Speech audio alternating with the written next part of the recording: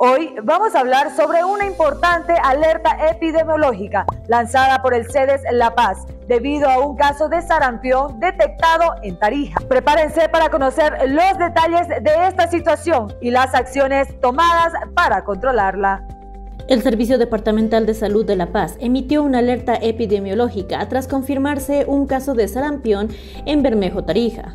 La preocupación radica en que la paciente estuvo en la ciudad de El Alto durante el mes de enero, lo que podría haber facilitado la propagación del virus. Según Gabriela Mamani, jefe de la unidad de epidemiología, se implementaron diversas acciones para contener la situación. Entre el 29 de febrero y el 4 de marzo se movilizaron más de 50 brigadas de salud para identificar a niños niños no vacunados.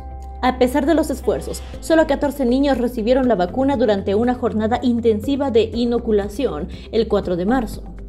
Mamani enfatizó la importancia de vacunación, recordando que el sarampión es altamente contagioso y puede tener graves consecuencias. La población debe tomar conciencia sobre la importancia de la vacunación para prevenir enfermedades como el sarampión. La negativa a vacunar a niños pone en riesgo la salud pública y puede tener consecuencias graves. ATV explica.